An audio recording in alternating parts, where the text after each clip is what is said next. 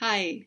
Last month I read the first three blog pieces in my series on discomfort, and tonight I'm going to read the most recent two. So there's five total right now, and these will be pieces four and five. Um, piece four is titled Discovering the Territory of Neutrality. Um, that's the title on my blog site. Um, and I'm going to just read it straight off the blog. This is the fourth piece in my blog series on discomfort. You can find the first one linked on my blog, as well as a YouTube of all of them being read on my YouTube channel. In this post, I'll be writing about the topic of neutrality, something I wrote a bit about last year. Sometimes we humans get lost in two speeds immersed completely in something or avoidance of something. Sometimes these two are related we get lost in a feeling, it overwhelms us, and then to cope with that, we turn off. Feeling pleasure or pain involves a lot of body engagement, and let's be honest, we're not a culture that has a healthy relationship with body engagement. Even while we may say we want to feel pleasure, or we would rather feel pleasure over pain, we may not know how to be comfortable with the body engagement that comes with pleasure. And as much as we may not like pain, we may be more familiar with managing pain than opening up to pleasure. There's a lot of possible territory to explore with all that, and I'm not going to go deeper into those specific areas. Instead, I'm going to write about how we might learn to navigate difficult territories, pleasure, pain, or other expressions, by also noticing and including resonance, res- resonances we've not yet become familiar with moving beyond binary traps. How often have you spent time contemplating your neutral experiences, the experiences that exist outside of the bounds of enjoyable or uncomfortable, for example? For some of us, we can't help it. The, the moment we feel discomfort, it feels like all of us is uncomfortable. For some of us, we can't help it. We're driven to pay attention only to that which feels good. Our attention and the way we think can be exclusionary, exclusionary like that. This makes life really narrow and limited, however, because, because it is very unlikely that all of us feels good or that all of us feels uncomfortable. It's impossible for all of our sense receptors to be feeling the same thing, and it's impossible that X, insert that which is being focused upon, is the only experience that's happening. This binary kind of thinking, this or that, is very dominant in our culture and it, cont- it contributes to how we oppress ourselves as well as others. Let's explore this using temperature. If you scan your body head to toes, I wonder how many variations of temperature there are. For me, I feel very warm in some places, while other areas are quite cool, while other areas are a range of in between. From this, we can learn that, that in lived experience, we are and creatures. We experience warmth and coolness simultaneously. Our binary trained minds often go against our experiences, however, focusing on just one aspect of our experience, as if that's all there is. When it comes to discomfort or pleasure, our minds are even more trained to focus on just one or the other. When we focus in such a binary way, we have to exclude everything else. An effect of that is that our world gets smaller as we become reduced to just that which is being focused upon. Have you ever felt afraid and in that state felt very small? This presents a similar dynamic. Parts of our brain are being utilized and parts of our brain are being excluded. Parts of our experience are being included and parts of our experience are being excluded. We often feel small because we're experiencing life as our child self did, our child self who indeed was small, and who was often unresourced, overwhelmed, and without agency. It can be very disempowering to be a child because of the lack of control we had. When we, become, when we become afraid as adults, even though we have more resourcing and agency than we did when we were kids, we can easily forget that we are safe and resourced when that fear states come over us. We can easily feel disempowered. Now, let's imagine being afraid, and as we're aware of the discomfort of the fear, we're also aware of other things. Imagine being able to acknowledge the discomfort and or fear and also being able to notice that we are there are sensations in the body that are actually quite fine. Imagine being able to name that we may feel safe, but that we can look around the room and notice that we are physically safe. And in that moment, we may escape the binary world of either or and, and instead enter the world of both and. We both feel unsafe and are safe. This very quickly changes the dynamic, and we can go from feeling lost in a sensation state to being in relationship with all that we're experiencing the good, bad, and the ugly, or as I like to say, with what I don't like and what is also okay and fine. It can feel counterintuitive to take the time to include the and in our experience. And at first, it may not seem like it's changing anything in our experience. It takes time for the and neural pathway to form. But once they do, the practice of inclusion becomes easier and, our sh- and shifts our reality. Just like any practice, it is a process and it requires time and engagement. Learning to expand our attention. Because we're trained to think from a binary lens, it takes effort to include the full range of our experience rather than just focusing on one aspect. Because we're trained to think in terms of good and bad, good or bad, it takes effort to include aspects of our experience that are neither good nor bad and instead are neutral or okay or fine. A profound part of my journey has been learning how to make friends with the territory of neutrality. As I wrote in a past blog post, because I've been drawn to highs and lows, and because I've had so many false ideas about waking up and healing, it took time for me to even be interested in what I'll call neutrality, the space in between good and bad. When we're used to the intensities of good and bad, Neutrality may feel strange at first. For some, it may feel boring or empty. It may be uncomfortable or unsettling.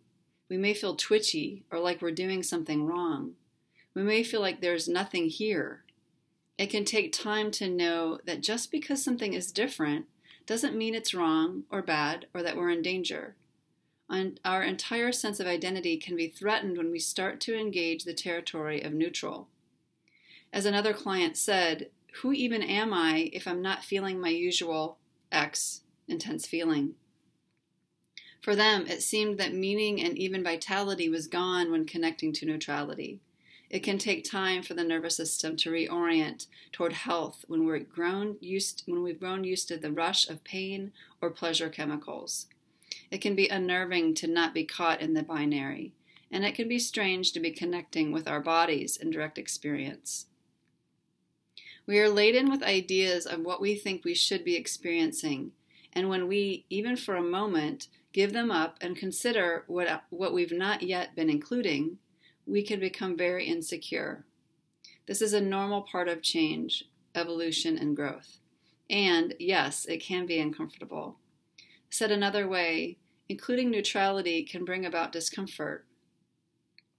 Here's an uh, experiential opportunity.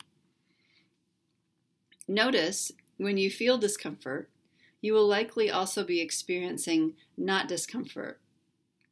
It may not be comfort that you're experiencing, but you will likely be experiencing something other than discomfort. For example, I may feel a tightening in my solar plexus, which may feel uncomfortable for me.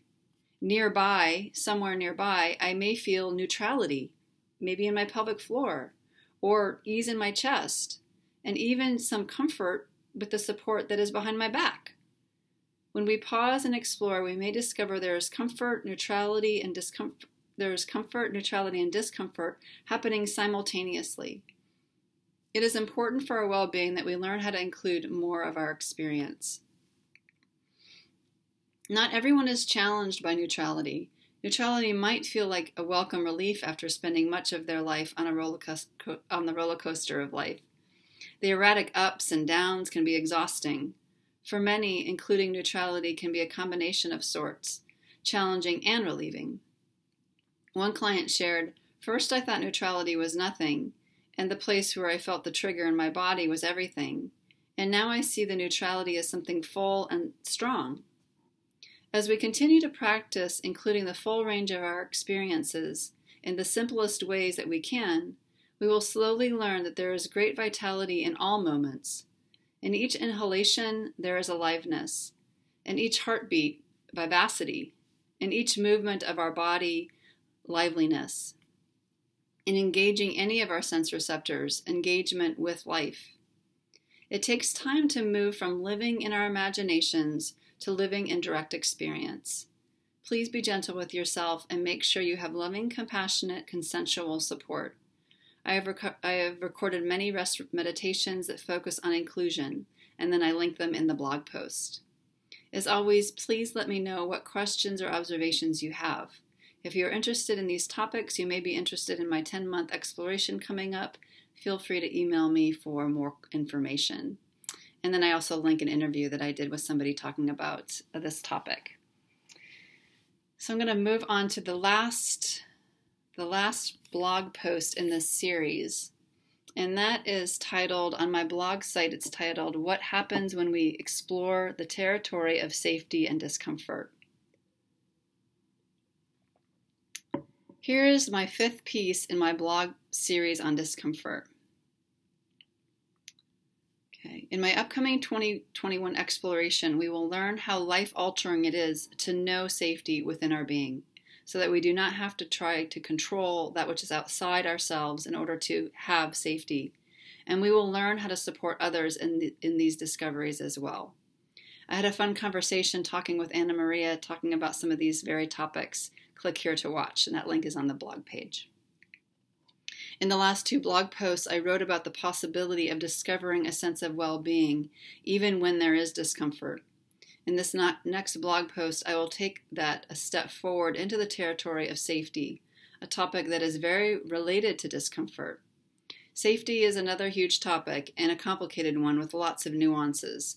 As such, this will be just a, a toe dip of sorts. If you haven't already read my previous posts in the series on discomfort or seen the YouTube video, please do as it leads into this post. Safety and discomfort. Safety and discomfort are very entwined, especially for survivors, but also for anyone who didn't grow up with people helping them to stay in their bodies when they experienced challenge. The topic of safety is so important for so many good reasons, but it is often misunderstood.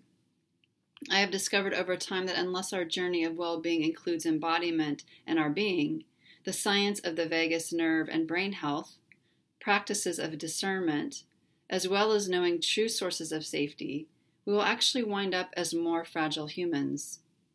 As I name that, I see scenarios flash be- before my eyes. One I hear about often is the meditator who feels that all is well until they get off their meditation pillow. While there may be much utility to meditation, if it is not paired with consciously including and exploring and exploring into our human experience, we will be limited by the false and unconscious belief systems that are habitual for us and remain disembodied. I have been that person. While meditation alone did provide clarity in some ways, it enabled a sense of fragility in other ways. I did not learn how to participate as a human and instead lived in a glass house. This unknowingly, of course, limited me to being a person who needed to control her life for fear of that glass breaking. This is a hard way to live. In another scenario, I'm thinking of someone I know who surrounds himself with only people who agree with them. Their past trauma has left their nervous system quite disorganized, and rather than focusing on consciously repairing that, they find people who will make them feel safe through validation and agreement. While there is nothing wrong with wanting validation, when our safety is dependent upon agreement from others, we will remain small and disempowered. This is the person who often does great in the world, but due to their inability to discern, their efforts are always limited due to believing that their safety hinges upon factors outside them, of them. The more they try to manufacture safety, i.e., control, the more insular they become and the more fragile they become. The more fragile they become, the more unsafe they feel, and the more unsafe they feel, the more dysfunctional their behavior becomes, and the cycle continues. I have been this person too. I have surrounded myself with people who see the world in similar ways as I do.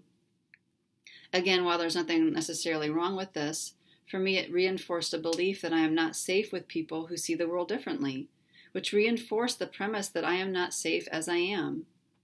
It also stripped away opportunities to sit with experiences of awkwardness, conflict, and discomfort so that my system could discover that I am safe as I am, regardless of if people see the world as I do or not, and regardless of whether I'm uncomfortable or not. Maybe you've been nodding your head reading these scenarios. These are not unusual stories, although they may look different for each of us. Regardless of our circumstances, most of us learn what I call false conflation. We believe that if X, then Y, or if Y, then X. If we're uncomfortable, then we're unsafe, or we're unsafe because we're uncomfortable. Either way, there is a conflation of safety and comfort. Learning about ourselves, learning to name. When we think about the topic of safety, we often think about what will help us to feel safe, and we build those ideas of safety upon external factors. When X person does Z, I feel safe. When I'm X in X location, I feel safe. When X is happening, I feel safe. When I'm in X circumstance, I feel safe. When I feel X, I feel safe. In my journey, asking curious questions of myself so that I can identify the factors I respond well to has been absolutely crucial and even profound. Getting clear enough to name things for what they are for us can be very empowering. It's important that we know ourselves well enough to determine how we feel in relationship to people, places, and things, and our own experiential happenings. And it is important that we know what comforts our system, our nervous system particularly, particularly if we are rebuilding or discovering a healthy nervous system. Having said that, sometimes developing the self knowledge to identify these things can be seen as the ending spot or goal, so to speak. In my experience, this self knowledge is actually the beginning. There is much more empowerment and possibility available. When science meets the practicality of well being. The naming process is an important aspect of our personal and collective evolution because developing the ability to observe a predicament enough to name involves neural pathways that connect to the prefrontal cortex. When this part of our brain is engaged, a few things happen. Our vagus nerve is connected to well being. We're able to have some distance from the reptilian brain, which functions on survival responses as opposed to what is really going on in the moment. And we can have some ability to resource and self regulate. This increased sense of resourcing and agency is empowering, as we're then connected to our sense of well being. And yes, it does allow us to feel safe, which further relaxes our nervous system and allows us to experience a wider and deeper aspect of life with, with the source of life itself. All of this helps us being all of this helps helps us in being able to discern and inquire into our experience which allows us to see through and disrupt old belief systems and assumptions about our place in the world. As, if, as with everything, this is a process of discovery. Here's a personal story to illustrate. Last summer, I became part of a group of local activists who were protesting Nazis at our local market. The week before, some militia members showed up to support the Nazi farmers, carrying guns and knives, both legal as we have an open carry law. As you might imagine, I needed to prepare myself to enter into a situation knowing that there was the possibility of violence. Did I feel safe walking into that situation? Well, ultimately, yes. But was I safe because of the environment? No. Knowing the kind of violence these militia groups are capable of, for example, Charlottesville 2017, I knew I could be walking into a violent situation, i.e., not physically safe but I connected to something much wiser and larger, and that connection conveyed a sense of safety in my being. Was I comfortable? Sometimes yes, and sometimes no. Did I experience fear at times? Yes. Through that experience, I learned that I could be in potentially violent circumstances with forces completely outside of my control, have some fear, feel some discomfort, and I could still be safe in my being. More importantly, I was also moving from love, which was also was a profound part of my experience and perhaps is its own blog post for another time. I'm often reluctant to share my experiences because you, as the reader, may not grasp how much effort and time it has taken for me to develop the resources and agency to be able to partake in these kinds of events, particularly from love. Furthermore, I'm not saying that everyone has to rush out there and protest Nazis at their local farmers market. There is utility learning how to be present and engaged in the everyday experiences of our life. Unwinding the false conflations and misunderstandings about safety allows us to become active participants with life, which might allow us to have comf- uncomfortable but important conversations with friends, children, families, neighbors, workmates, etc., even with ourselves. Might allow us to stay committed to things that are important to us, even when things get hot. Might allow us to get involved in creating change in our organizations and communities. It might allow us for uh, allow us to advocate for ourselves as well as others who are often not represented in our culture. And it might allow us to be in integrity with our actions and our emotions, and of course, so much more. Going deeper than safety. What? Deeper than safety? Well, if we keep getting real, eventually we will learn that absolute safety is an illusion. I cannot control what other people do or say. I cannot control factors outside of me. I can also not control all the thousands, millions of microcosms happening within my body. What I can do is connect with my sense of well-being and learn how to be how to develop a relationship with that so that I know it so deeply that nothing can strip it from me. I may have what I call momentary bouts of amnesia when it comes to this knowing, but they are short lived because I now have the ability and the resources to connect with it. Developing this knowing is not necessarily easy. As I said earlier, it takes conscious effort and practice to develop the resources and agency because most of us have never been taught how to be in relationship with ourselves, so we lack the self knowledge with regard to being present with our experiences. In fact, for most of us, the neural pathways that enable this do not even exist. We literally have to build these neural pathways through conscious practices, practices that include embodiment in our being, that include the science of vagal nervous system and brain health, that include practices of discernment, as well as the practices which develop a relationship of knowing true sources of safety. Gently exploring our experiences. The reality is that I can literally be safe, but be convinced that I'm not.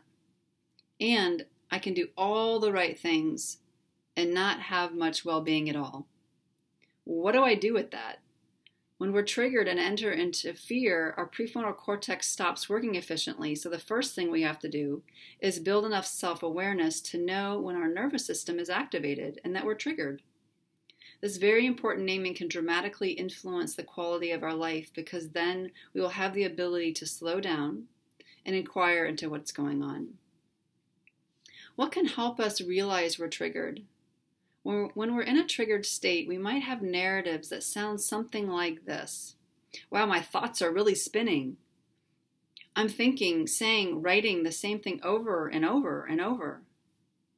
My heart rate, rate has increased. Ooh, I'm sweating. I'm feeling overwhelmed. My gut, throat, chest, fists are tight, clenching, and so on. I need to do something and I need to act now.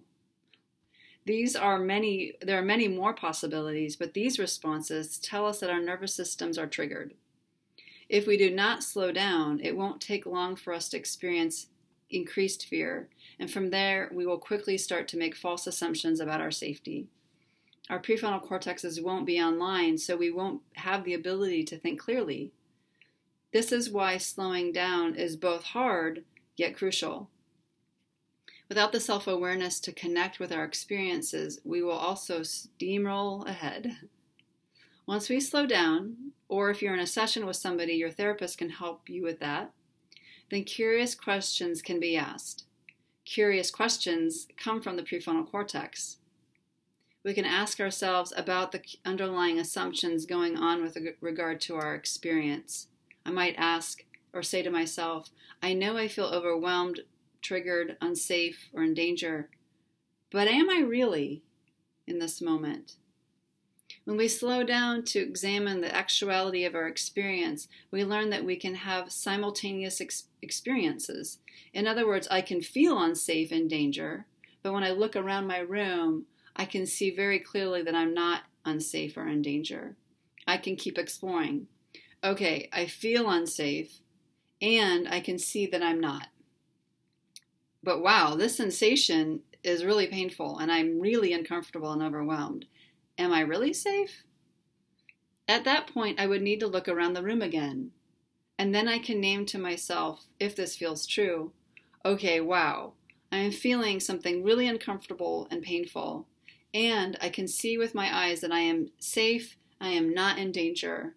Let me connect to breath or feel my body in the chair for a few minutes. This is the process. This process is the way to start to unwind all the false conflations about fear, safety, discomfort, and well being.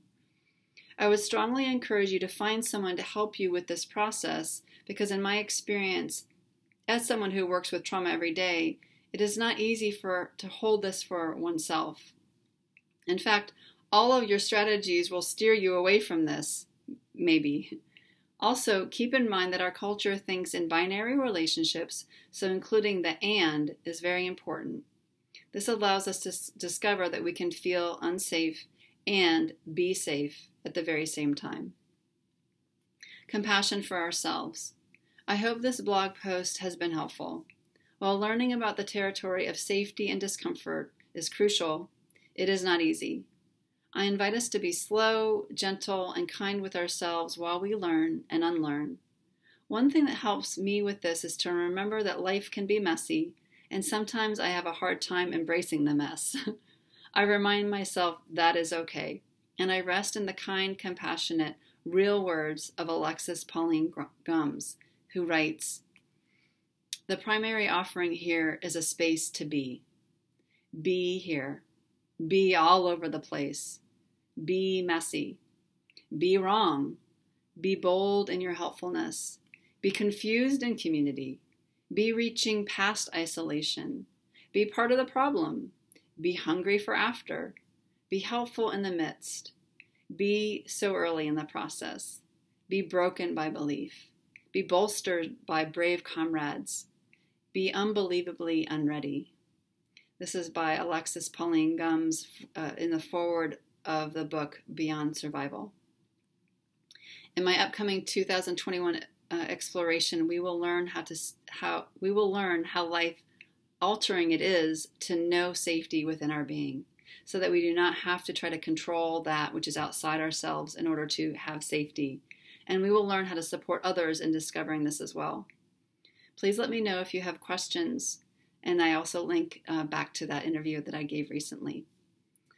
So if you have any uh, feedback, I'm always happy to hear that. Uh, and if you'd like to, me to write on another topic re- relating to discomfort or comfort um, or safety, uh, anything in the in this uh, big field of territory, please do let me know. Thanks very much for listening.